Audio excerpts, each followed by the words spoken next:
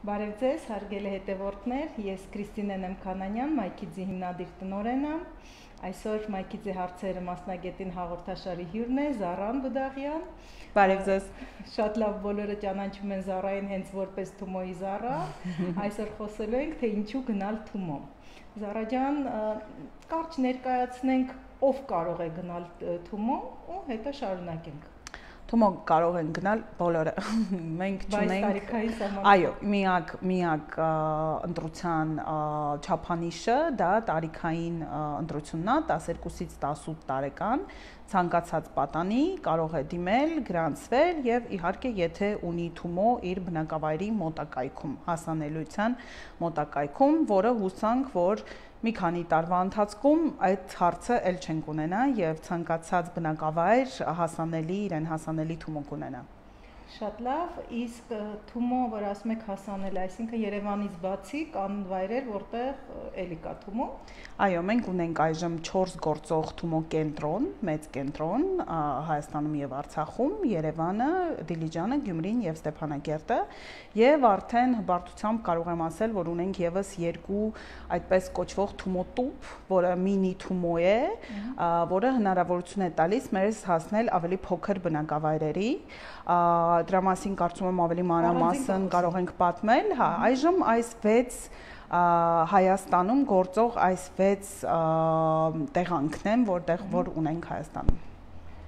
իսկ թումոները որ կան իրարից տարբերվում են թե բոլոր բոլորը միատեսակ ծրագրով են գործում բոլոր թումոները նույնիսկ ոչ միայն Հայաստանում եւ Արցախում այլև աշխարհում գործում են մի ծրագրով եւ այդ ծրագիրը ստեղծվել է Թումոյում թե այն ծրագրային ապահովումը, որը թույլ է տալիս մեր անցկացնել մեր ինքնուսուցման ծրագիրը եւ նաեւ ունենալ ամբողջական պատկեր ուսանողի ամբողջական առաջընթացի, իր պատմության, Թումոյում եւ այլն, հա, այսինքն թե ծրագրային ապահովումը, թե կրթական բովանդակությունը ստեղծվել է Թումոյում եւ այո, ցանկացած Թումո անկախ նրանից թե ինչ չափի է, մեծ է, թե փոքր է, երբ է ստեղծվել, ունի նույն մակարդակի ուսուցումը, ինչ առաջի եւ գլխամաս, հա, հանդիսացող Երևանի Թումոն։ Մեր դասընթացավարները, ովքեր որ վարում են դասընթացները այն 14 ոլորտներում, որոնք մենք դասավանդում ենք, շրջում են բոլոր մեր 4 կենտրոններով, այսինքն նույն մարդը, նույն բարձրա բարձրա, ոյ բարձրակարգ բարձրակարգ մասնագետը ով դասավանդում է Երևանում նույն մարդը դասավանդում է եւ Դիլիջանում եւ Գյումրիում եւ Ստեփանակերտում եւ կրթական բովանդակությունը ամբողջական նույնն է իսկ Երևան Թումոն եւ ենթադրենք Փարիզի Թումոն իրարից տարբերություն կա որովհետեւ ամեն դեպքում մարդկանց մենտալիտետը ուրիշ է ամեն դեպքում այնտեղ այլ սպասելիքներ են այստեղ այլ ինչ տարբերություն այո որոշակի որոշակի տարբերություն կա եւ առաջի հիմնական տարբերությունը այն է, որ մեր միջազգային կենտրոնները այս 14-ից հիմնականում ընտրում են թե որ ոլորտներն են ուզում անցնել, այսինքն որոշակի ոլորտներ, որոնք որ կան Հայաստանում, Փարիզում չկան, Ֆրանսիայում չկան, բայց ընդհանուր մոտեցումը եւ բովանդակությունը նույնն է, բայց իհարկե հարմարեցված է տվյալ երկրին եւ դրա համար մենք ունենք մեր կրթական բովանդակություն ստեղծող թիմը, բաժինը, ով ամեն անգամ միջազգային կենտրոնի համար ծրագիրը պատրաստելիս իհարկե մանրամասն ուսումնասիրում են ծրագիրը եւ այն ադապտացնում են տվյալ երկրի մտածելակերպին, հա, թեկուզ կենցաղային մանրամասներին եւ այլն, այսինքն եթե մեր մոտ ինքնուսուցման վարժանքում կա մի վարժանք, որտեղ օրինակ Զարան եւ Կրիստինան ինչ որ անիմացիա են նկարում, Փարիզում դա կարող են լինել Կլեմենտինը եւ, չգիտեմ, ինչ անուն է գալի, Կլոդը, հա։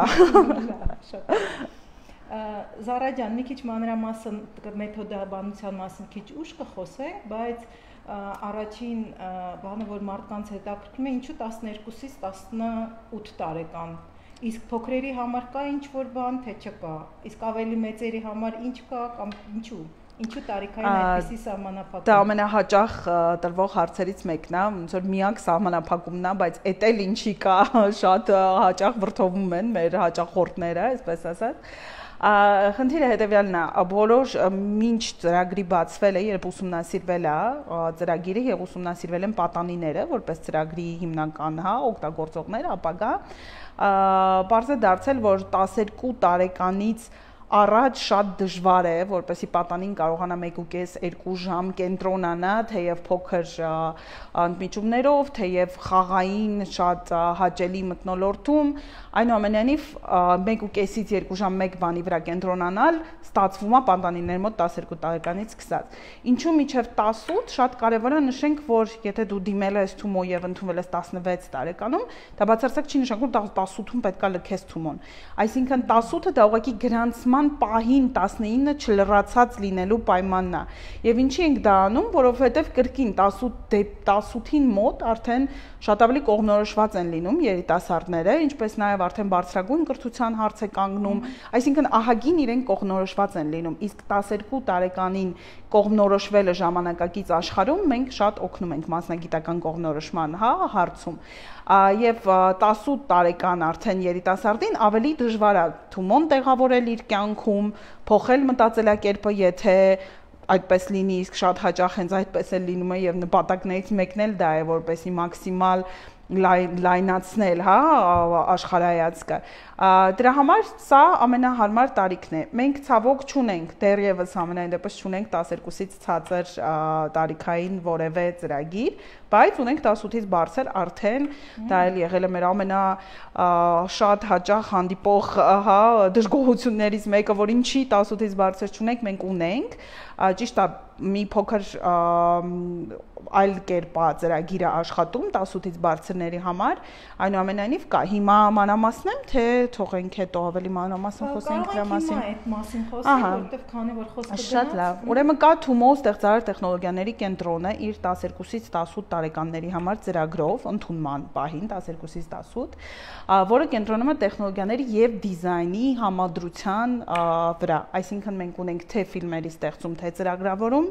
թե անիմացիա, թե խաղերի ստեղծում, թե շարժական գրաֆիկա, թե 3D մոդելավորում, թե երաժշտություն եւ թե օրինակի համար, չգիտեմ, թվային նկարչություն եւ այլն, հա, այսինքն սա ռոբոտաշինություն եւ երաժշտություն, այսինքն սա համադրություն է, միքս է տեխնոլոգիաների եւ դիզայնի, բայց ամեն ինչը թվային բանով է ուսումնասիրվում։ Այնուամենայնիվ ունենք նաև ծրագիր, որը կոչվում է Թումո ստուդիաներ, որը 18-ից 28 տարեկան երիտասարդների համար է, ովքեր միայն դիզայնով են հետաքրքրված այո, այստեղ կարող են տեխնոլոգիաները կիրառվել, օրինակ զարդը կարող է պատրաստվել 3D մոդելավորման, հա, օգնությամբ, տեխնիկայի օգնությամբ, բայց այնուամենայնիվ այս ծրագրի գլխավոր նպատակը երիտասարդ դիզայներներին արհեստները սովորեցնել, տարբեր մասնագետների հետ այսպես կոչող ատելյեների, աշխատարանների միջոցով եւ զարգացնել ընդհանուր հա Հայաստանում ստեղծվող ապրանքների, այսպես ասած, որակը եւ տալ հավելյալ գիտելիքներ այդ ոլորտներում։ Դա կարող է լինել նորաձևություն, դա կարող է լինել նույնիսկ խոհարարական արվեստ, դա կարող է լինել փայտագործություն, մետաղագործություն եւ այլն, հա։ Սա Թումո ստուդիաներ ծրագիրն է։ Չհասկացա, դիզայնի նկատի ունեք ոչ թե վեբ դիզայն կամ ինչ-որ մոբայլ եւ այլն։ Արհեստներ, արհեստներ եւ արհեստներ եւ այո, այո, այո, այո։ Ենթադրենք արծաթյա զարդերի։ Այո, այո, զարդեր, փայտագործություն, ասում եմ նույնիսկ խոհարարական արվեստ, այսինքն նոր բաղադրատոմսեր, որոնք հիմնվում են հիմնականում հայկական ավանդական խոհանոցի վրա եւ այլն եւ այլն։ Հա, օրինակ հենց հիմա մի շատ հետաքրքիր նախագիծ է ստուդիաներում ստուդիաներում գնում հայկական տարազի ուսումնասիրությունն է եւ նորաձևության ոլորտում նոր հագուստի ստեղծում հայկական տարազի օգտագործմամբ, հա, այսպես ժամանակակից հայկական տարազ կարելի է ասել։ Դա Թումո ստուդիաներն են։ Եվ կա ԵՄ Թումո ինժեներական եւ կիրառական գիտելիքների համալիրը, որը Եվրամիության հետ համատեղ ծրագիր է, որը 18-ից միջև ինչքան որ այո ուզենք, մի ծրագիր է, որը շատ լայնածավալ է եւ իրենից ներկայացնում է իսկապես մի համալիր, որը ունենալու է իր առանձին նաեւ շենքը, որը համատեղելու է կրթական ծրագրեր եւ աշխատանքային ծրագրեր, լինելու է հիմնականում ՏՏ ոլորտում, հա, եւ լինելու է այսպիսի համալիր, որը ունի թե աշխատանքային տարածքներ, թե օրինակ կրթական ծրագրեր, որոնք որ արդեն սկսել ենք, թեև շենքը դեռ պատրաստ չի եւ նախագիծը ավարտում ենք շատ հանրահայտ միջազգային ընկերության MVRDV-ի հետ, ճարտարապետական լուծումը իրենց հետ ենք տալու։ Այնուամենայնիվ կրթական բաղադրիչները արդեն սկսել ենք եւ դա Թումո լաբերն են, որոնք որ նախագծերի միջոցով համալսարանների եւ շուկայում աշխատող ՏՏ ընկերությունների համագործակցությամբ ծրագրեր են, որտեղ ուսանողները աշխատում են հենց շուկա գնացող բաների վրա, հա, ապրանքների նախագծերի վրա, դա շատ հետաքրքիր նախագիծ է եւ աշխատում են թե օրինակ գյուղատնտեսության ոլորտում ավտոմատացված, հա, ծրագրավորման եւ տարբեր application-ների միջոցով process-ները ղեկավարելու նախագծերի վրա, թե օրինակ շատ հետաքրքիր Osensus ընկերության հետ ունեցել ենք 3D սկանավորման ամբողջական օրինակ նախագիծ եւ այլն։ Եվ 42 Երևան դպրոցը, որը ֆրանսիական հայտնի ծրագրավորման դպրոց է, բավականին հետաքրքիր ֆորմատի, որովհետեւ ուսանողները սովորում են իրար հետ աշխատելու ընթացքում տարբեր նախագծերի վրա եւ որը շատ լավ կարող է 0-ից ցանկացած արդեն մասնագիտություն ունեցող կամ դեռ մասնագիտություն չունեցող երիտասարդի կամ մեծահասակի դարձնել սուպեր ծրագրավորող, ծրագրավորման գուրու։ Այս կրթական բոլորը 18-ից բարձր է։ Շատ է։ Խառնա, այո։ Ու մի քիչ པարզ չէր թե ով կարող է դիմել որ ծրագրին ինչ տարիքից ու ինչ բաներ պետք է անցնել պրոցեդուրանը։ Այո։ Կարծում եմ ձեր կայքում կա այդ ամբողջ ինֆորմացիան։ Եկեք վերադառնանք մենք հիմնական Թումոյին։ Այո։ Որը նախատեսված է 12-ից 18-ի։ Եթե հարցեր ունենաք, մնացած 342 Կարող ենք մի փոքր sense բան անել, ոնց որ ամփոփել Թումո ստեղծար տեխնոլոգիաների կենտրոն 12-ից 18 եւ բոլոր այս ծրագրերը անվճար են, դա էլ չմոռանանք նշել։ Թումո ստուդիաներ դիզայնով եւ արհեստներով հետաքրքրվող երիտասարդների համար 18+ միջև 28 եւ ԵՄ Թումո համալիր, իդեմս Թումո լաբեր եւ 42 Երևան ծրագրերի, որոնք ՏՏ եւ ծրագրավորում 18-ից պլյուս, ինչեւ որ ինչքան որ կցանկանաք բայց ասացիք, որ դրանք հիմա ինչ որ չափով գործում են, բայց դեռ շենքը չկա, այսինքն շենքը չկա, բայց գործում են։ Այո։ Հիմնական Թումոյի կողքը թե ինչ որ այլ տարածք։ Հենց Թումոյի կողքին, ասենց դեպի Ձոր նայող շատ հետաքրքիր գեղեցիկ ճարտարապետական նախագիծ է, անհամբեր եմ որ ներկայացնենք հանրությանը, բայց այս պահին հենց Թումոյի շենքում գործում է 42-ն էլ, լաբերն էլ մենք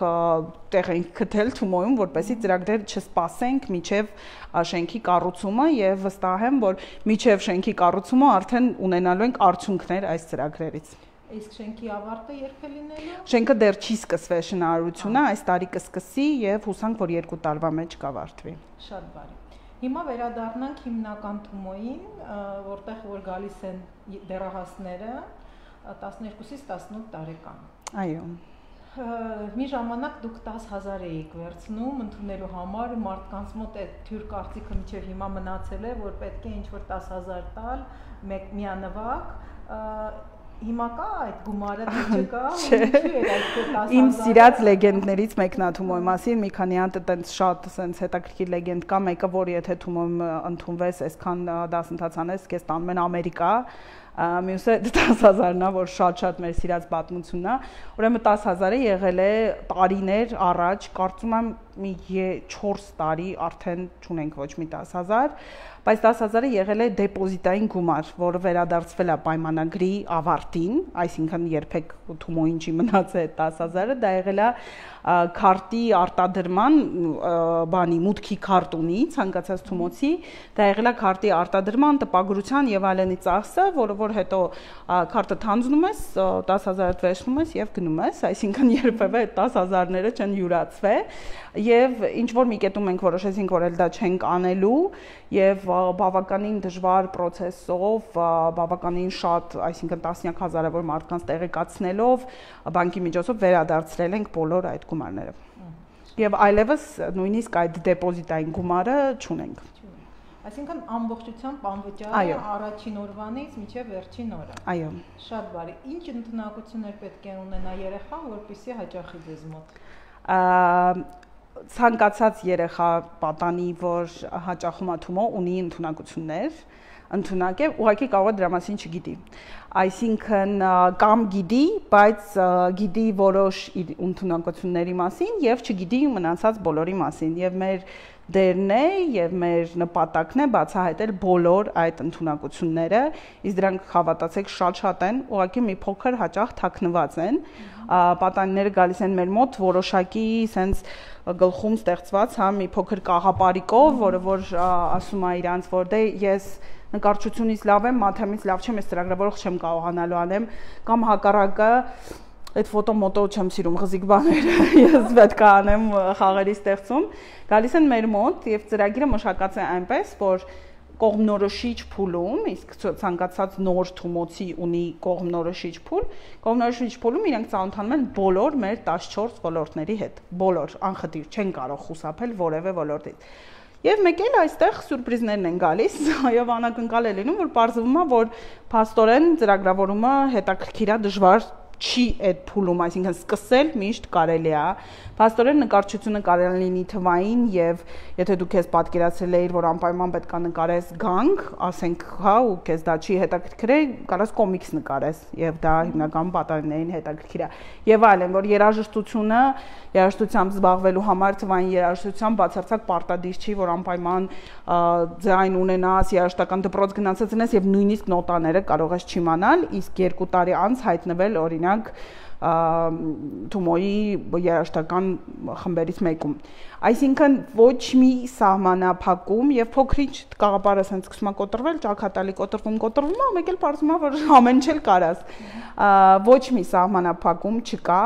ոչ մի նախադրալ որևէ ինչ որ նախապայման կամ նախնական, հա, ասենց վերաբերմունք, որ դե դու դպրոցում լավ չես սովորում, ուրեմն չես կարող թումոյում սովորել կամ դու ապահով ընտանիքից չես, ապահոված ընտանիքից չես, չես կարող գալ, ոչ մի բան չունենք։ Թումոյի սկզբունքներից է, որ չկան դասարաններ, չկան կոհորտներ, հա, այսպես ասած ուսանողական, չկան լավ ու վատ ուսանողներ, կան ուսանողներ, ովքեր վերցնում են այն հնարավորությունները, որոնց թումոն տալիս է, կան ուսանողներ, ովքեր ալարում են ու չեն վերցնում։ Հիմա դրա մասին առանձին կխոսենք Փաստորեն կարելի է ամփոփելով ասել, որ Թումոն 12-ից 18 տարեկան բոլոր պատանիների համար է անխտիր։ Այո, միանշանակ։ Անկախ իր ունակություններից, կարողություններից եւ դպրոցական գնահատականներից եւ բոլոր նախապայմաններից։ Շատ լավ, դա բարձեցինք։ Հիմա ձեր ծրագրերին անդրադառնանք, ծնողները, որ առաջին անգամ առնչվում են,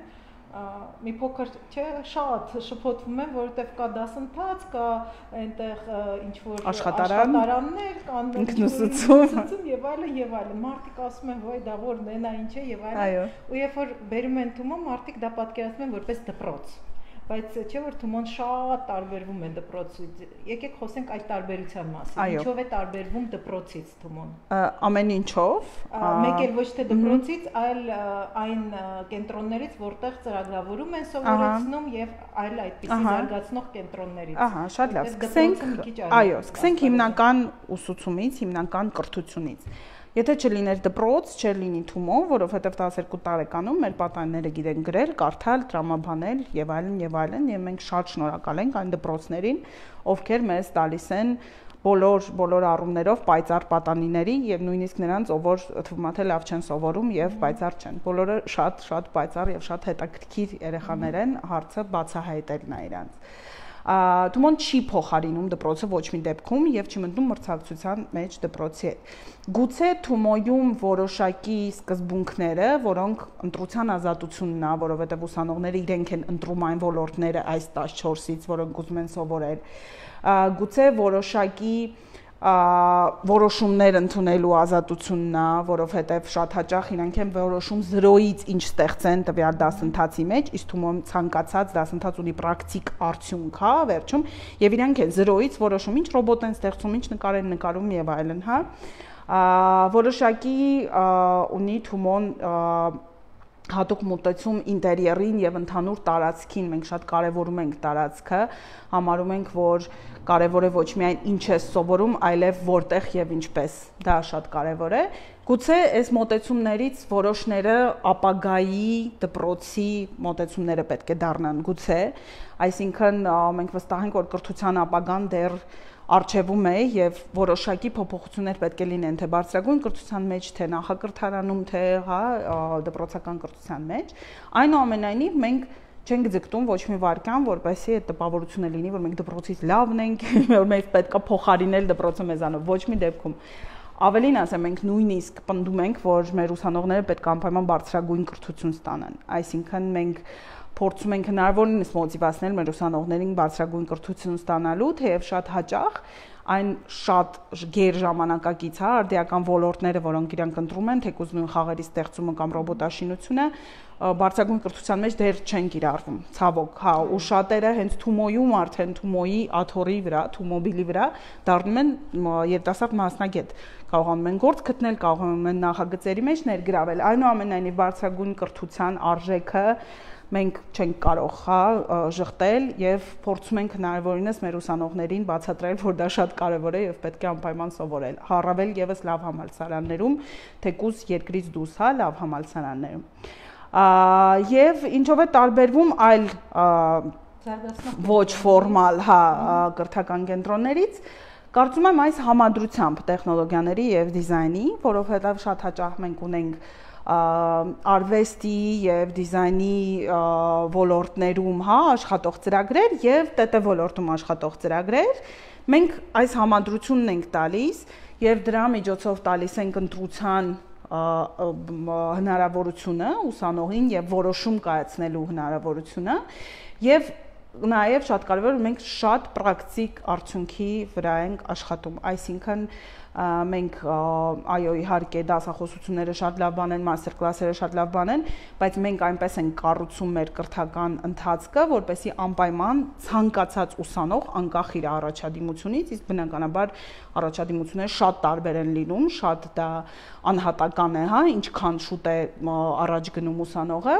անկախ դրանից միշտ ցանկացած ընթացք թումոյում սկսած ամենաառաջի ինքնուսուցողական վարժանքից ունի պրակտիկ արդյունք վերջում։ Եվ դա էլ շատ կարևոր բան է եւ ինչպես արդեն նշեցինք, տարածքը մենք մտնոլորտը ու տարածքը շատ ենք կարևորում եւ դա իհարկե դժվար հասանելի բաներից մեկն է, որովհետեւ իհարկե մեծ բյուջե է գոնե գոնե դրա մասին եթե խոսենք բյուջե է պահանջում հատուկ ստեղծված կրթական տարածքը, մոտեցում է պահանջում երկար, այո, տեխնիկապես հագեցվածություն եւ այլն եւ այլն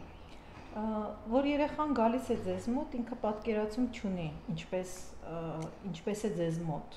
այդ ամեն ինչը ընդունված ու իրեն թվում է, որ իր գլխին լինելու է ուսուցիչ, որը իրեն ուղղորդելու է, որը տնային է ստուգելու եւ այլն ու եւ պատկերացում չունի, որ ինքը ամբողջ ինքնուրույն պիտի անի ու շատ ծնողներ հետո զարմանում են, որ մի ամիս, երկու ամիս գնալուց հետո երեխան հանկարծ պարզվում է մի 4 ամիս չի գնացել ու դուրս է մնում։ Ահա։ Այդ ինքնուրույնության ոնց է գալիս, որովհետև շատերը մեզանում ցավոք այդքան ինքնուրույն չեն, որ սովոր չեն։ Որ նստեն ինքնուրույն ինչ որ վարժանքներ անեն։ Այդ վարժանքները, որ ինքնուրույն անեն, ինչպես է դրան գալիս։ Այո։ Նախ իհարկե մենք սկզբից ունենք կողմնորոշիչ հանդիպում կոչվող բավական մեծ միջոցառումը, որտեղ հրավիրում ենք ծնողին եւ ուսանողին եւ մանրամասն, շատ ավելի մանրամասն, քան ես հիմա բացատրում ենք կրթական ընթացքը։ Եթե փորձենք վիզուալ պատկերացնել, իրականում թեև շատ երկար կարելի է դրա մասին խոսալ եւ շատ կարելի է մանրամասնել, բայց որպեսզի վիզուալ պատկերացնենք, 3 այսպես ասած 3 հիմնական ուղություններն են, ոնց որ պատկերացնենք 3 սյուն։ Այս 3 սյուներն են ինքնուսուցումը, դասընթացները եւ աշխատարանները։ Ինքնուսուցումը այն է, ինչ որ արվում է մեր հատուկ մշակած ծրագրի միջոցով, դասընթացները այն է, ինչ արվում է արդեն ավելի փոքր խմբով մեր մասնագետների հետ, մեր աշխատակիցների հետ եւ աշխատարանը այն է, ինչը նման է դասընթացի, բայց ավելի կարճատև է եւ արվում է որևէ միջազգային կամ տեղացի մասնագետի հետ, ով թումոթիմի անդամ չէ, այսինքն հրավիրված մասնագետ է։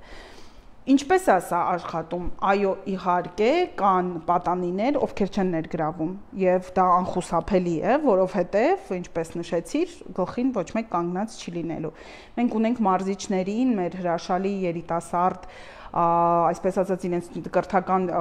ու նաև մասնագիտական ճանապարհը նոր սկսող երիտասարդներին, ովքեր որ մեր պատանիների հետ աշխատում են ինքնուսուցողական ընթացքի վրա։ Իսկ դա ընթացիկ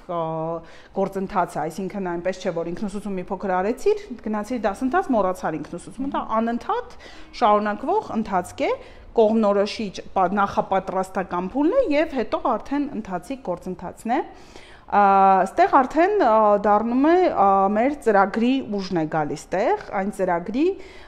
որը ի նկատի ունեմ ոչ միայն բովանդակությունը այդ ծրագրի, այլև դրա տեսքը, այլև դրա աշխատելու ձևը, այլև այդ տեղեկությունը մատուցելու ձևը, որը արված է մաքսիմալ խաղին մոտ։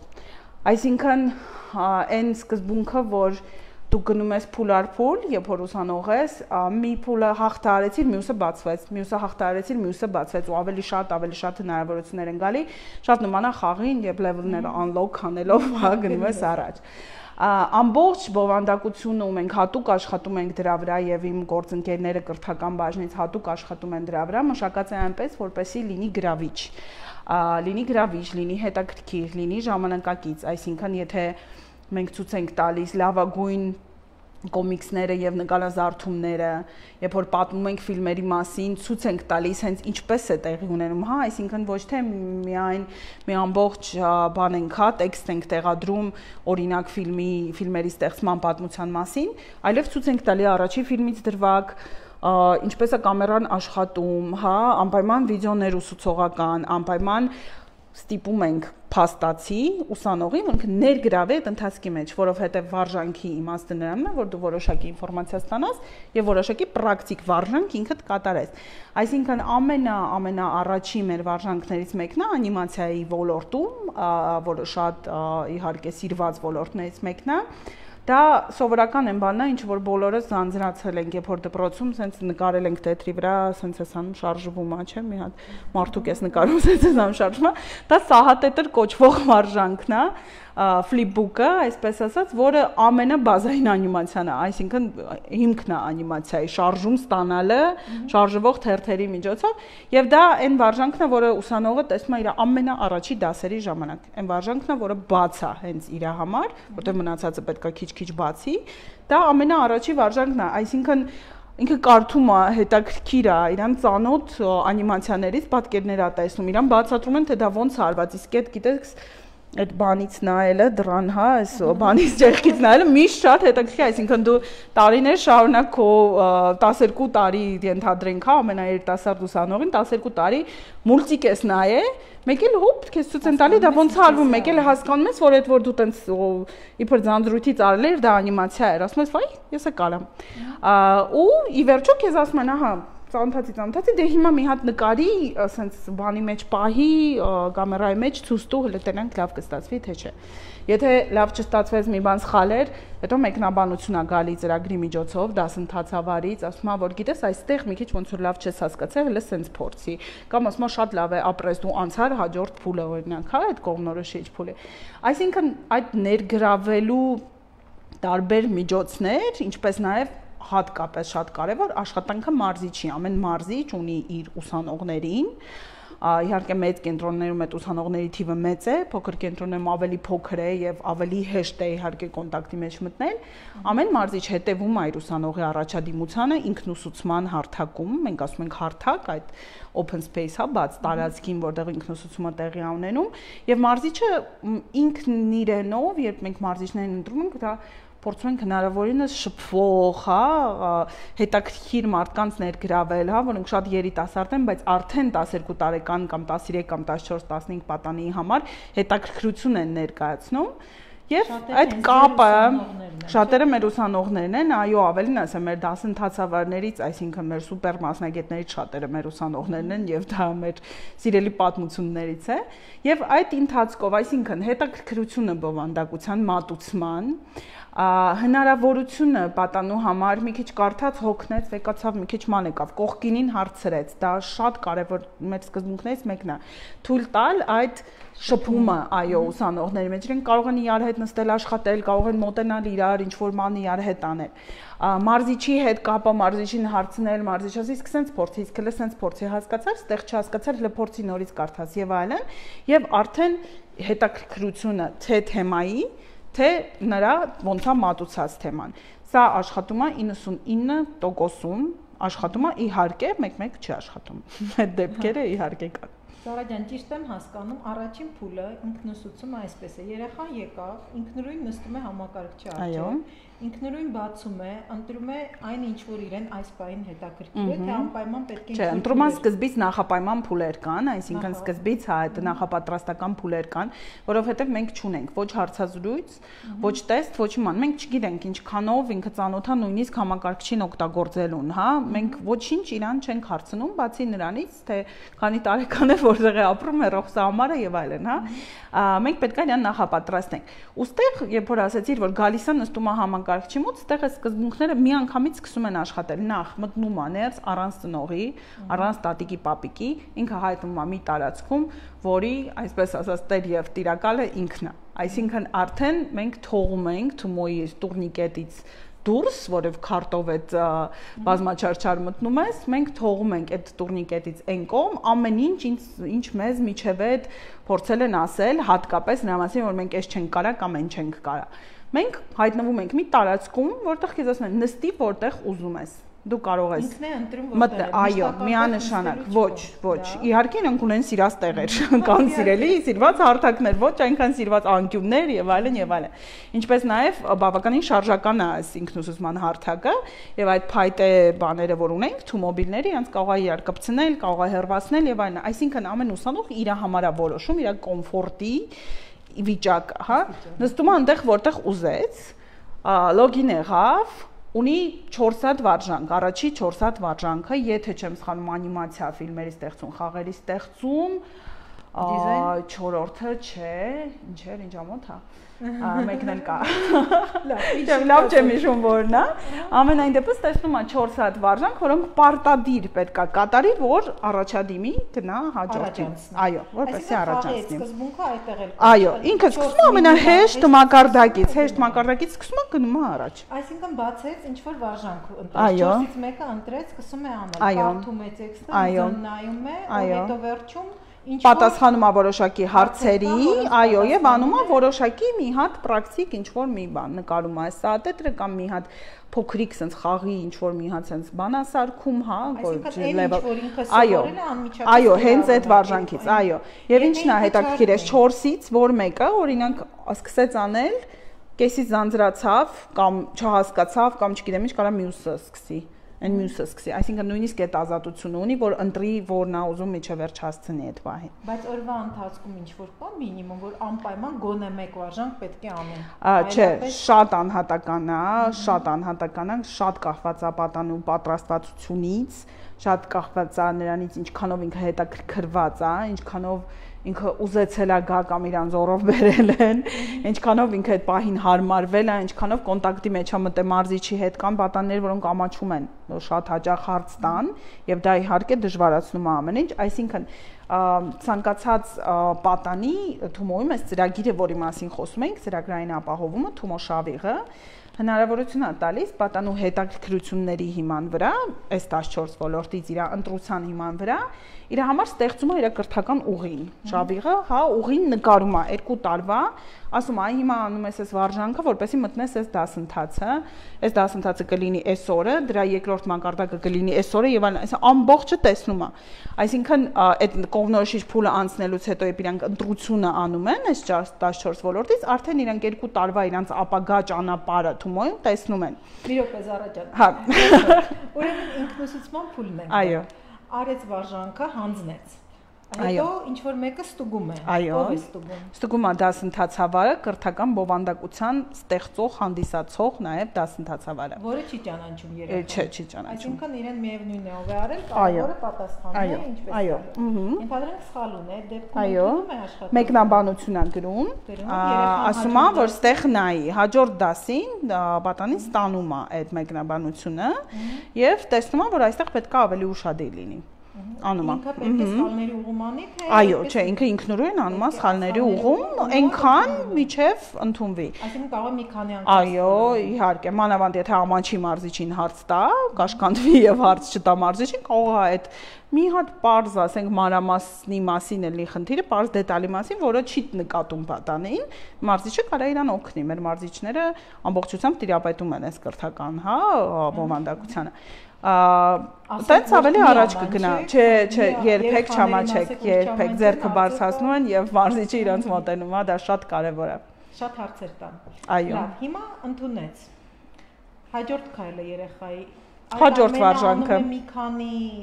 մի քանի պարապմունքի ընթացքում Այո։ մեկ Պարապմունք է դասը ոնց է ձեզ մոտ կոչվում։ Դաս, սեսա, թումո ժամ,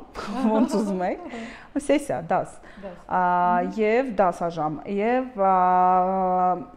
սովորականում միջև են փուլը որպեսի, նու ստատիստիկայով, հա, նայենք, միջև են փուլը որպեսի բացվի հնարավորությունը այս 14 ոլորտից ընտրությունը անելու, այսինքն այդ նախապատրաստական փուլը մոտավորապես 2 ամիս է տևում, ինչը նշանակում է 8 դաս, որովհետև այդ փուլում պատանները գալիս են շաբաթը 1 անգամ 1.5-2 ժամով։ Այսինքն շաբաթը մի անգամ։ Շաբաթը մի անգամ 1.5-2 ժամով, այո։ Այո, երեխան ընտրում է ինքը օրը իրեն հարմար է ժամը։ Գրանցման ժամանակ, այդ գրանցման ժամանակը հա տեղի ունենում։ Հնարավոր է մի քիչ դժվար է, որովհետև լիքն են բոլոր ժամերը, բայց որոշակի կարող է պետք լինի, մի քիչ սպասել կամ մի քիչ ժամանակ անցնի հնարավոր է փոխել։ Այսինքն նախնական փուլը 2 ամիս է, որից հետո ելնելով երեխայի կատարած Այո, բայց այդ 2 ամիսը ուղղակի ամենա մեզ հայտնի ընթացքն է, ամենաշատը երբ մենք նայում ենք ուսանողների առաջադիմությանը, ամենաշատը մեզ պատահում է այդ 2 ամիսը։ Իհարկե կա պատանի, որ իր մոտ ավելի երկար կտևի կամ որ ավելի կարճ կտևի, բայց քիչ ավելի կարճ, ասենք չի լինի 2 ամիս, կլինի 1 ամիս, 2 շաբաթ օրինակ, հա, որտեղ ընդհանուր այն բովանդակությունը, որ իրանք ստանում են այդ կողմնորոշիչ ինքնուսուցման ընթացքում, մոտարապես 2 ամսվա համար է 8 դասի համար է։ Այսինքն երեխան, որը գալիս է ոչինչ չի անում, իր մոտ կարող է դա 6 ամիս տևել։ Կարա։ Կարող է։ Իսկ որը որ շատ լավ ծանոթ է արագ-արագ մի օրում կարող է մի քանի վարժանք անել, թե սահմանափակ։ Շատ կարծում եմ չի հասցնի, որովհետև շատ կարևոր է ինչն է հենց այդ ինքնուսուցման հետաքրքրությունը, ինֆորմացիա է ստանում Այսինքն ինֆորմացիան պետքա ընկալի, պետքա նայի վիդեոները, պետքա կարդա տեքստերը, իսկ դա ամեն ինչքան էլ որ ծանոթ լինի, պիտի տեքստը կարդա, որ հետո հասկանա ինչ են իրանից պահանջում, հա։ Այսինքն ինքը կարող է իմանա, հա, անիմացիան ինչ է, նույնիսկ հատետրել նկարած լինի կամ նույնիսկ որևէ ծրագրով արդեն անիմացիաներ ստեղծած լինի, բայց որպես ինքը այդ վարժանք անցնի, ինքը պետք է ամեն ինչ ինչ կա, կարդա եւ նայի, հա։ Այսինքն հարցը դա դա ժամանակ է տևում, այո, այո, այո։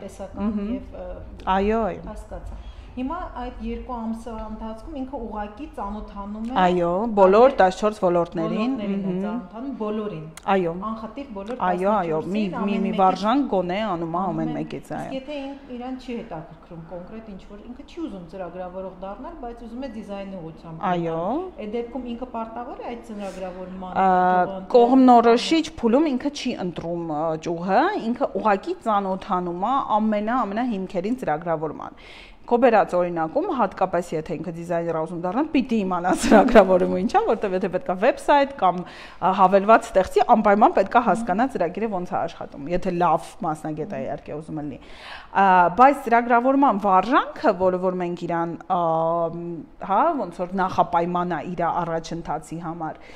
դու չես կարող դառնալ ծրագրավորող այդ վարժանքը կարդալով։ Դու ուղղակի կիմանաս որոշակի կստանաս գիտելիք HTML-ի մասին օրինակ կամ, չգիտեմ, այլ ինչ որ տարերի մասին ծրագրավորման, հա, դա ոչ դժվար է, ոչ էլ պետքա հատուկ ինչ որ տաղանդ ունենաս կամ ինչ որ մի բան, չգիտեմ, թեկուզ մաթեմատիկայի կամ որևէ բանի։ Դա սովորական ինֆորմացիա է։ Եվ այդ ինֆորմացիան ընկալելու համար քեզ պետք է ուղակի որ դու նստաս եւ կես ժամ այդ ամեն ինչը կարդաս, ոչ ավել։ Եվ դա նախապայման է։ Դա ինքը պիտի անի, որովհետեւ այ հենց այդտեղ է լինում այդ sense այդ որ ասես ճտումա ու բարձում է որ ծրագրավորումը հետաքրքիր է այդտեղից է սկսում արդեն հա հիմքը այդ ընտրության դրվում է այդտեղ այսինքն միջև երեխան չփորձի ինքը չի հասկանա դա իհարկե չէ ինքը չգիտի այո դրան ծանոթ չի ընդհանրապես ու միգուցե այո այո եւ չգիտի թե դա ինչ է շատ լավ անցանք առաջին փուլը երկու ամիս անցավ ենթադրենք նորմալ աշխատել է բոլոր վարժանքները արել է հաջորդ անցնում է մի քանի փուլ նախապայման այդ վարժանքների եւ իր համար բացվում է մեր բոլոր ոլորտների անիվը, 14 ոլորտ ունեցող հենց ինքը տեսք ունի անիվի, ասենց կլոր։ Այո, ուրեմն անիվը բացվում է եւ ինքը այդ 14-ից ընտրում է 6-ը, որոնցով խորանալու է հետագայում, որովհետեւ 14-ից 6-ը, այո, ընտրում է եւ նույնիսկ ոչ թե կարող ես պարտավոր է, պետք է 6-ը անպայման ընտրի։ Եվ էս այո, պարտադիր 6-ը։ Չէ, չի կարա պիտի ընտրի, էլի հաստատ չգիտի հետաքրքրում է թե չէ։ Այո, պետք է ընտրի եւ այդ 6-ը հիմնականում միքս է լինում տեխնոլոգիաների եւ դիզայնի, այսինքն ու շատ հաճախ լինում է որ ես էս 3-ն եմ ուզում, որտեվ հələ չի խորացել, լավ չգիտի, դե էս 3-ն է դե լավ, ինչ ինչն է որ ամենակիչը չեմ ուզում, ընտրում է, հետո մտնում է այդ դասընթացի մեջ, մեկ էլ հոպ, բարձվում է որ հետաքրքիր էր այդ գրաֆիկ դիզայնը այս ինչ հետաքրքիր բան է, փաստորեն ծրագրավորողին պետք էր։ Ես ծրագրավորող եմ ուզում դառնամ, բայց արժի որ գրաֆիկ դիզայնի իմանամ։ Այսինքն ընտրություն կատարեց, 6-ը ընտրեց։ Այո։ Այդ 6-ը, որ ընտրեց, շարունակում է այդ վարժանքները ինքնուրույն անելը, թե արդեն ինչ որ այդ դասընթացներն են սկսվում։ Չէ, շարունակում է վարժանքները անել, որովհետև վարժանքների շարտերը նախապայման են դասընթաց ընդունվելու համար։ Այսինքն դու պետք է SSS անցնես, որոշակի գիտելիք ստանաս, որպեսզի դասընթացի մեջ կարողանաս մտնես։ Ինչպես նաև կան վարժանքներ, որոնք բաց են արդեն քեզ համար, կարող ես ուղակի անել։ Օրինակ, նախապայման վարժանքները տարեցիր այդ ժամանակ արդեն շավիղը քո ճանապարհը գծել է, ուղիդ գծել է։ Եվ դու ունես հիմա մայիսա մեզ մոտ հուլիսին օրինակ, հա, մոտակա ժամանակ հուլիսին ունես, լավ, օգոստոսին փակենք, սեպտեմբերին ունես դասընթաց օրինակ լուսանկարչության եւ ունես մի քանի վարժանք, որոնք նախապայման են լուսանկարչության դասընթաց մտնելու համար։ Պետք է կարդաս կամերայի մասին, դեսի մասին, դենի մասին արեցիր նախապայմաններ արագես, լավ առաջընթաց ունես, նախապայմաններ արեցիր, դասերը չեն կորում ոչ միտեղ դաս ունես դեռ, անում ես ուրիշ վարժանքներ, այլ ոլորտներից, այլ դասընթացի նախապայման կամ ուղակի քեզ հետաքրքրող որևէ վարժանք բացում ես, նայում ես ինչն է բաց քո համար արդեն քո մանկարդակի համար եւ այդպես բզբզում ես այսպես ասած։ Այսինքն երեխան իր ցանկությամբ ոչ մի այդ դասընթացի մասնակցել չի կարող, քանի դեռ չի անցել։ Իհարկե, չէ, պիտի բաց։ Այո, այդ խաղի օրենքները աշխատում են նաև այստեղ։ Բանալիները հավաքելով պետքա գնա, այո։ Լավ, հիմա անցավ այդ բանը։ Ուզում է կոնկրետ այս դասընթացը, բայց չէ որ դասընթացները ձեզ մոտ ժամանակացույց ունեն։ Ինչպես է այսինքն կարող է 3 ամիս սպասել, մինչև առաջին դասընթացը լինել։ Իսկ դա մի տեսակ երեխայի մեջ բան, 3 ամիս հետո հա չի որ կարա լինի իհարկե հիասթափություն շատ չէ մի քիչ հավեսից ընկնել փոքր կա դրա համար կան ինքնուսուցման վարժանքները որոնք շարունակում են հետաքրքիր մնալ եւ իրանք շարունակում են անել եւ դրա համար էլ այնպես չի որ պետք է ամեն օր գա դասի եւ այդ 3 ամսվա մեջ ահա որ շատ դասա ունենալու ձանձրանալու է այսինքն ինքը 3 ամսվա մեջ կանի X վարժանք, եթե ինքը մարզիչի հետ կապի մեջ է եւ լավ է հասկացել ծրագիրը ոնց է աշխատում, ինքը կարա անի այն վարժանքները, որոնք իրան մոտիկացնելու են մնացած դասընթացներին,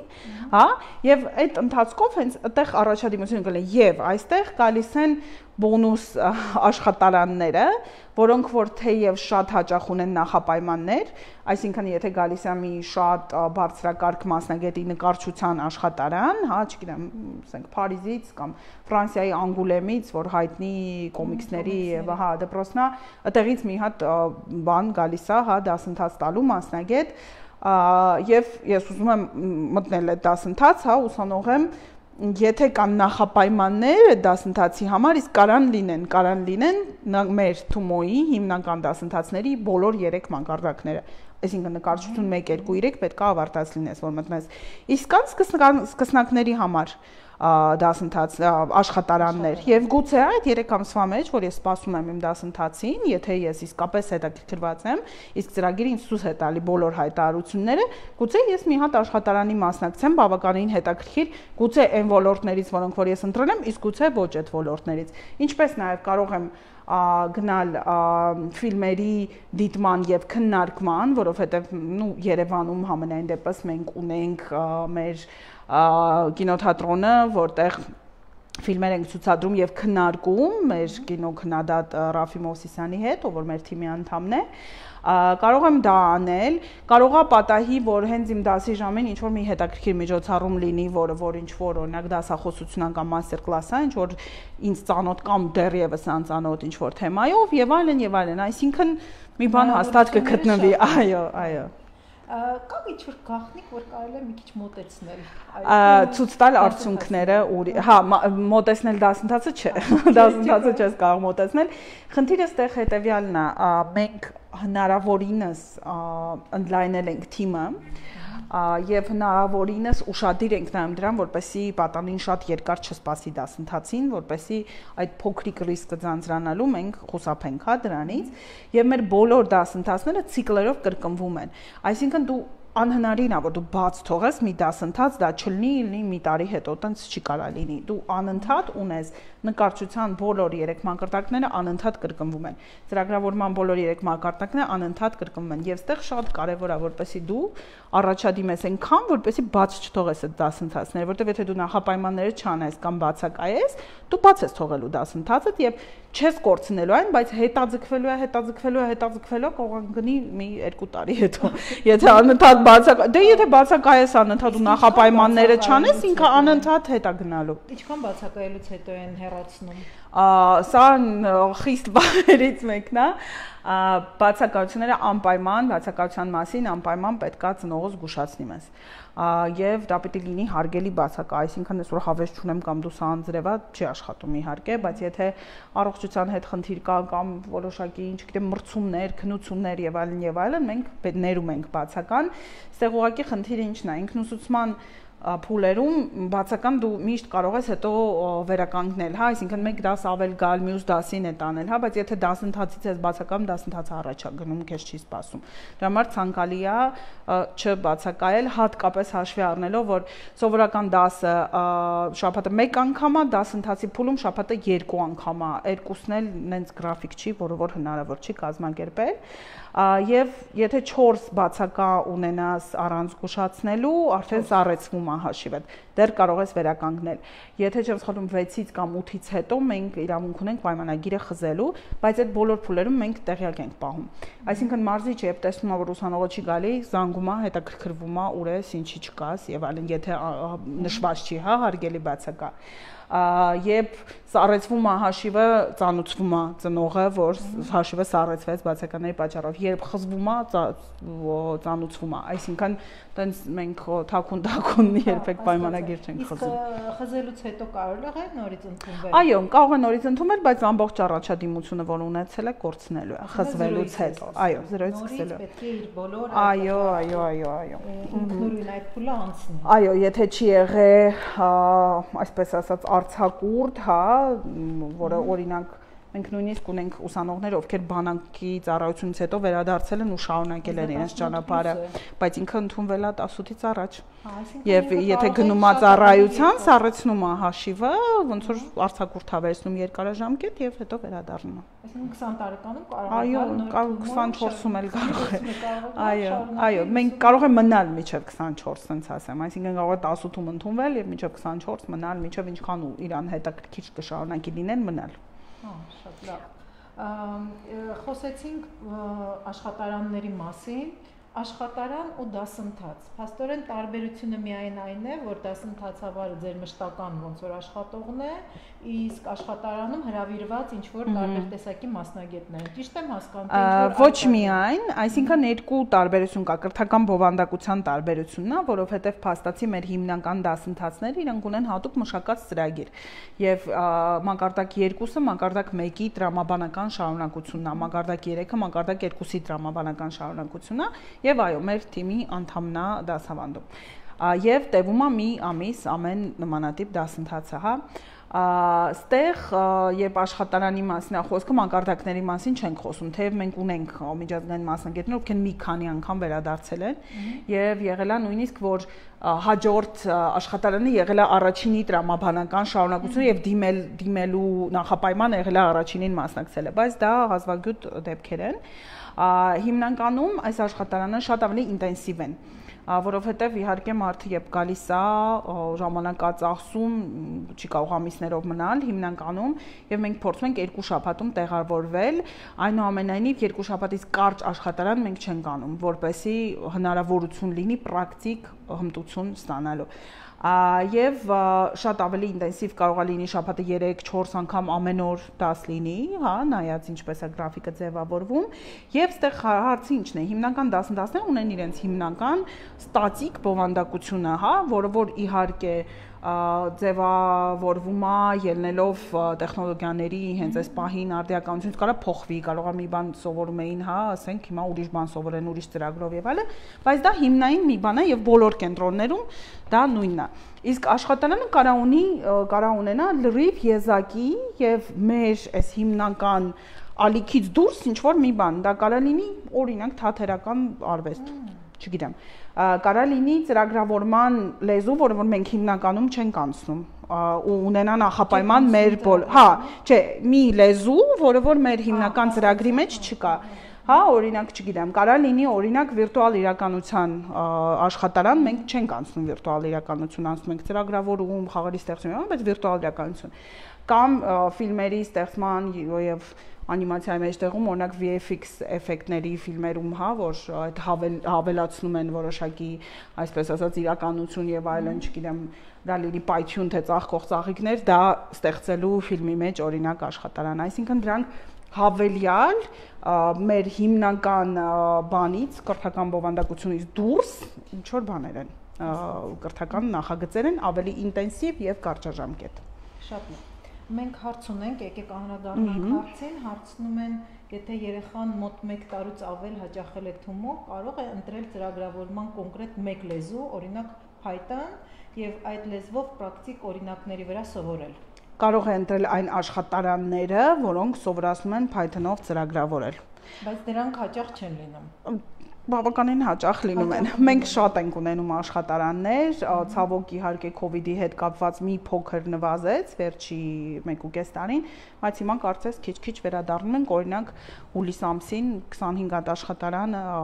միաժամանակ մի անգամից ունենալու են 25 այ, այդ քիչ է։ Այդ քիչ է։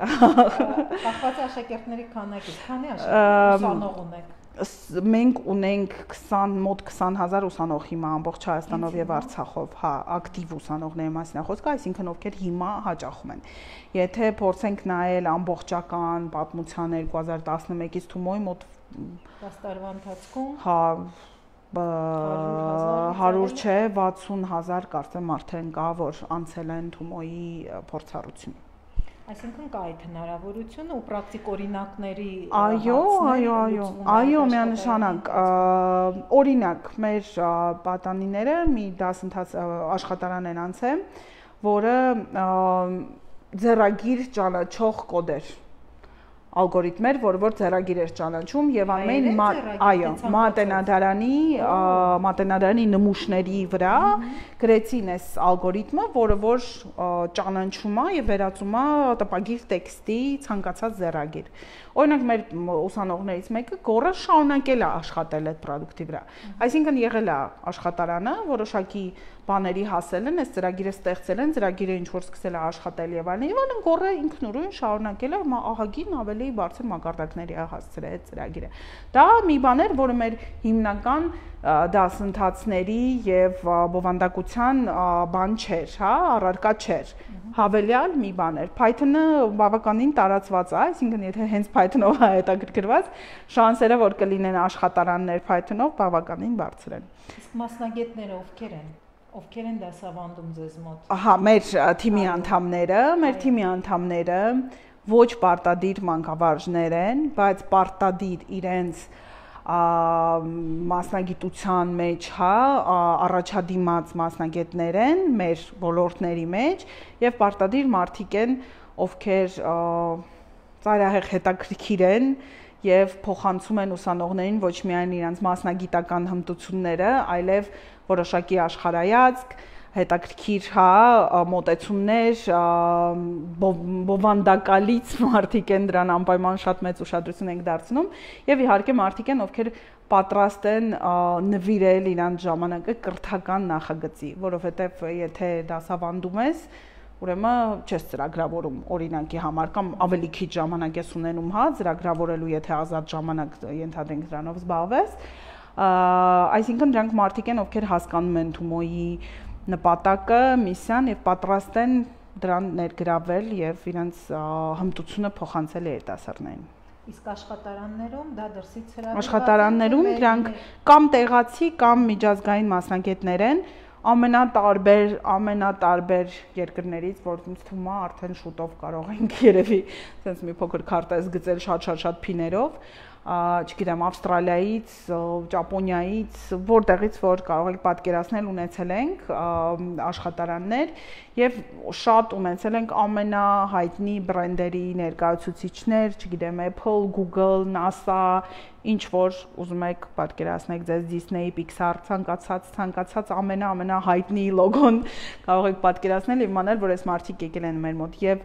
ինչն է շատ հետաքրքիր թե մեր մշտական հիմնական դասընթացներում մեր թիմի անդամների հետ աշխատելը, թե միջազգային մասնագետի հետ աշխատելը շատ կարևոր է ստեղ այդպես ասած այդ soft skill-ը, հա, թե թիմային աշխատանքի, որովհետև արդեն խումբ է, երբ աշխատում են դասընթացի մեջ, թե շփման մասնագետի հետ, որովհետև շատ կան կարծրատիպային մեր մոտ մտածելակերպներ, ցավոք, այս սովետական շրջանում, հա, ծանոթություն, չգիտեմ, դες դες բաները դեռ ցավոք աշխատում են մեր հասարակության մեջ, մեջ պատանիները տեսնում են մարդկանց, ովքեր հաջողակ են, ովքեր հասել են ամեն ինչի կրթության եւ գիտության եւ գիտելիքի եւ հմտության միջոցով։ Այդ լրիվ այսպես ասած, հա, հեղափոխում է իրանց ամեն ինչը, ինչ իրանք պատկերացրել են իրանց, որտեղ շատ հաճախ ցավոք տեսնում են այլ օրինակներ ոչ մասնագիտական, հա, մոտեցումներ տարբեր բաներում եւ այդ շփման ընթացքում շատ ձևավորվում է իրանց ուրիշ արդեն ավելի լայնախոհ ավելի հետաքրքիր մենտալիտետ է եւ դա հավելյալ կարեւորություններից մեկն է, որպեսզի այս շփումը, չգիտեմ, շատ པարզ օրինակի վրա ֆուտբոլային հավաքականը, երբ խաղում է շատ տարբեր մրցաշարերում, խաղում է մեծ, հա, մեծ ֆուտբոլային աստղերի հետ, սկզբից մի քիչ վախենում ա իրանցից։ Այսինքն շատ դժվար է քեզ, չգիտեմ, պատկերացնել, որ դու կարաս Այո, Մեսսիի հետ խաղաս, հələ մի բան էլ իրան գոլ խփես, հա։ Բայց երբ որ դա հաճախ է տեղի ունենում, ինչպես Փարկասո հիմա մենք տեսնում ենք մեր հավաքականի, այդ բանը անցնում է, հա, այդ վախը եւ պատանիներն են եւ սկզբից շատ կաշկանդված են, երբ որ տեսնում են չգիտեմ, դրսի մասնագետների բանը, բայց այդ շփման ընթացքում եւ հատկապես երբ որ մեր հրավիրված մասնագետներից դա ամենահաճախ դեպքն է, որ մենք տեսնում ենք, հիանում են մեր պատանիներով, ինքնա զգացողությունը փոխվում է, հավատը քո ուժերին փոխվում է, ինքնագնահատականը փոխվում է, քիչ-քիչ քիչ-քիչ մեր պատանիները ասենց ռակետայի նման թռնում են առաջ։ Շատ, շատ կարևոր հավելյալ դա էֆեկտ է, որը որ ունենք աշխատարաններից եւ նաեւ դասընթացներից պատանիների մասին խոսենք, ինչ դուք ինչ որ մի ձև կարողանում եք տեսնել ձեր ուսանողները ինչ հաջողությունների են հասել կամ ընդհանուր ստատիստիկա ունեք, թե հաշվետվություն կարող է ինչ որ մի բան, թե ինչպիսի արդյունքներ է տալիս Թումոն փորձում ենք հնարավորինս հետևել, շատ մեծ իհարկե ողջավորվածությամբ տեսնում ենք այն պատանիներին, ովքեր տարբեր ամենահաջողակ մեր ընկերություններում աշխատում են, թե Հայաստանում, թե մեկնում են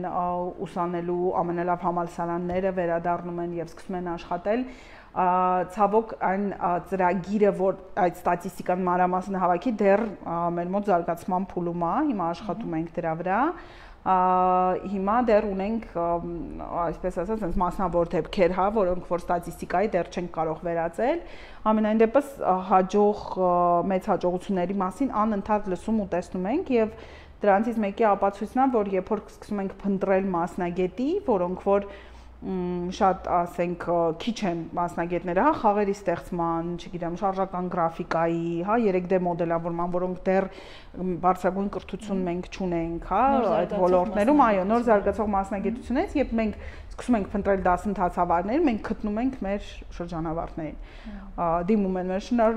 շրջանավարտները շատ հաճախ, ասենք, երբ փնտրում ենք մեկին, հա, ուղակի, այսպես ասած, օղակներով, հա, մարդկային ռեսուրսների գտնում ենք մեր ուսանողներին, դա իհարկե վկայում է նրա մասին, որ մեր մոտ ստացվում է ստեղծել այդ նոր աշխատուժը, հա, նոր մասնագետներին այս զարգացող ոլորտներում,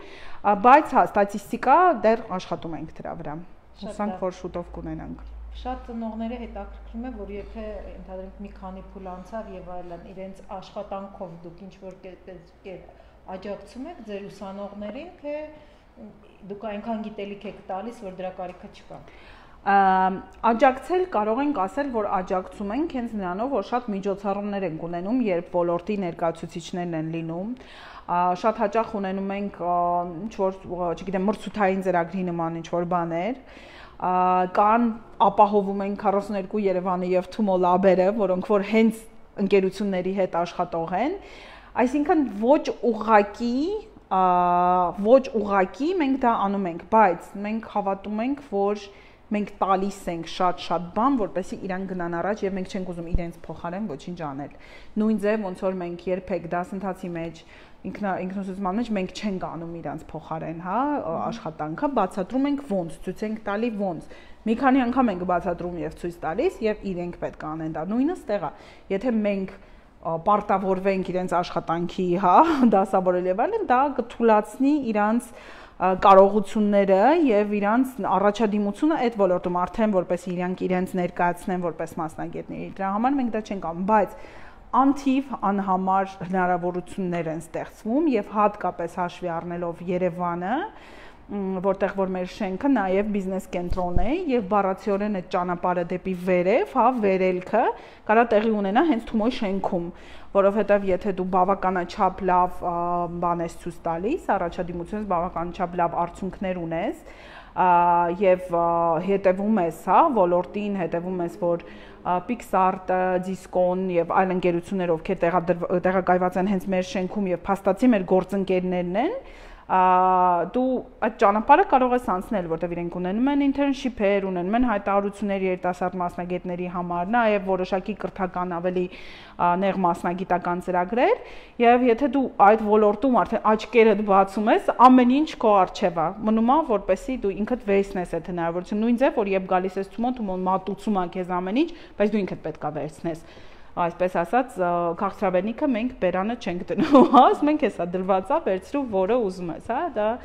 շատ կարևոր է, որպես այդ ինքնուրույնությունը նաև զարգացնենք երիտասարդների մեջ։ Այսինքն դուք տալիս եք կարտ, այլ ոչ թե Այո, այո, այո, այո, այո, այո։ Ամփոփենք Ազարա ջան, պետք է արդեն ավարտենք չեմ կարող չհարցնեմ ամենահաճախ տրվող հարցերից է ինչու ինչով եք դուք տարբերվում արմատից եկեք դա վերջնականը իմ սիրելի հարցերից մեկն է մենք երկու տարբեր կրթական ծրագիր ենք որոնք որ լրիվ համատեղելի են մենք շատ սատար մենք շատ ուրախ ենք որ կան շատ կրթական ծրագրեր որ կա ընտրություն բոլոր մեր պատանիների համար դա շատ կարևոր շատ կարևոր է որ ոլորտը զարգանում է, որ մենք ունենք շատ ընտրություն եւ դա էլ ձևավորում է մտածելակերպ եւ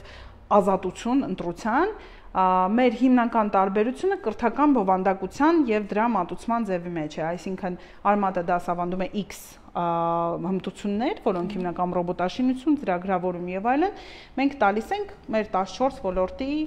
ընդհանուր, հա, համատեղությունը, անմատը մի քիչ ուրիշ ձև է իր դասերը, հա, կազմակերպում, մենք մեր ձևով ենք կազմակերպում եւ շատ կարեւոր է որ մեր պատանիները ունենան այս ընտրությունը, եթե ուզեն համատեղեն, մենք շատ ուսանողներ ունենք, ովքեր համարմատ են այցելում համ մեզ մոտ, եւ դա միայն ուրախալի է, որ կան շատ կրթական ծրագրեր։ Մենք շատ են ասում, «Ա, բան սենց շատ լավ է»։ Մենք ուրախ ենք, ոլորտը զարգանում է եւ կա մեծ ընտրություն կրթական ծրագրերի եւ դա շատ լավ է եւ մեծ պահանջարկի դեպ։ Այո, այո։ Շատ շնորհակալ եմ Զարա ջան։ Ինչ որ բան հավելելու մենք խոսեցինք ըմբլայման, մի կարճ երևի։ Այո։ Երկու խոսքով ասենք դեպի ուր եք դուք ուզում ըմբլայմել։ Դեպի ամբողջ երկիր,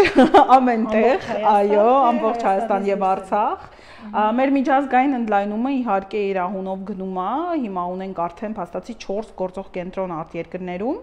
արտերկրում, Փարիզ, Մոսկվա, Բերլին, Տիրանա եւ շուտով կբացվի Կիևը եւ այլ քաղաքներ, որ չեմ կարող ասել, բարձրաձայն, մտքումս թվարկում եմ, այո եւ սրանք իհարկե իրար հետ բավականին կապված, բայց նաեւ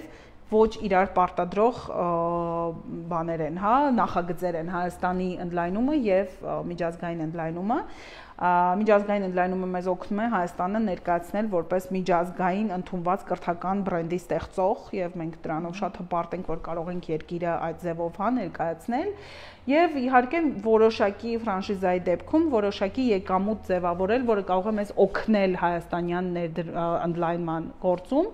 Իսկ Հայաստանում մենք պլանավորում ենք մեր թումո կենտրոնների, այսպես ասած հանգույց կենտրոնների եւ տուփերի այս sense սատելիտային ցանցի միջոցով ծածկել ամբողջ Հայաստանը, որպեսզի հնարավորություն տանք նույնիսկ ամենահեռու բնակավայրերում մեր պատանիներին ստանալ թումոյի կրթական փորձառությունը։ Տուփերը այսպես կոնտեյներների sense մինի թումոներ են, որոնք կծված են մեծ կենտրոն։ Ինքը հենց տուփ է։ Մենք ասում ենք թումո տուփ։ Եվ այո, դա կոնտեյներներից հավաքված շատ ապահով, շատ լավ օթափողությամբ եւ ամեն ինչով տուփից սարքված մինի թումո է, ոնց որ ամենափոքր տուփը մի մի դասասենյակ է 16 բանով, հա, համակարգչով, 16 ուսանողի համար եւ տուփը հնարավորություն է տալիս ինքնուսուցումը անել տեղում եւ դա կարող է լինել փոքր համայնք, հա, փոքր քաղաք կամ գյուղ, ինքնուսուցումը անել տեղում, իսկ արդեն դասընթացի ընթացքում գալ ավելի մեծ թումո։ Ոնց որ որ հիմա մեր մոտ աշխատում են Գավառը եւ Բերթը, արդեն մեր sense հպարտությամբ անցած տարվա դեկտեմբերին բացված մեր կենտրոնները, ովքեր որ դասընթացի արդեն մեկնել են երկրորդ դասընթացին իրա Թումո Դիլիջան, որը իրենց հիմա այս պահին ամենամոտիկ հանգույց կենտրոնն է։ Հետագայում ուզում ենք ամեն մարզում ունենալ հանգույց եւ տուփեր, կախված մարզի մեծությունից, պատանիների թվերից, հա, ինչքան պոտենցիալ ուսանող ունենք, դրանից կախված ունենք sense մեր երազանքների քարտեզը, որը անպայման իրականություն է դառնալու եւ կլինեն մարզային կենտրոններ եւ տուփեր։ Այսինքն որտեղ որ չեք կարող կենտրոն հիմնել, դուք եք Այո, այո, չենք կարող եւ գուցե նաեւ պետք չի, որովհետեւ գոնե ամենափոքր կենտրոնը պետքա 1000 ուսանող ունենա, իսկ շատ փոքր բնակավայրում գուցե այդ 1000-ը հնարավոր չլինի, հա, այդքան պատանի մեր տարիքի ուղակի չլինի, չբնակվի այդտեղ։ Շատ լավ լավ, մենք պետք է արդեն ավարտենք։ Շնորհակալություն Զարա։ Լավ, ես եմ շնորհակալ։ Հիշեցնեմ դուք դիտում եք Մայքիձե հարցերը մասնագետին, մեզ հյուրեր եկել Զարա Բուդաղյանը, Թումոյի Զարան, հենց այսպես պարտությամբ կրում եմ այդ անունը։ Այո, շնորհակալություն։ Ես էլ եմ շնորհակալ շատ Կրիստինա ջան։ Հարցեր ունենաք, կարող եք գրել Զարան հետ։ Հաջողով կպատասխանեմ եւ եթե դեռ չեք գրանցել ձեր պատանիներին կամ պատանիներ, եթե դեռ Թումոյի ուսանող չեք, համեցեք։ Շատ լավ։ Estación La Federico. Estación